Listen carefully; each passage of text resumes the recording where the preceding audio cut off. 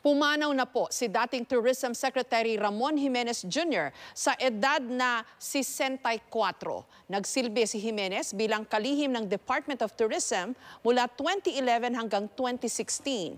Sa isang pahayag, nagpaabot ng pakikiramay sa kanyang mga naiwang kaanak, si Tourism Secretary Bernadette Romulo Puyat.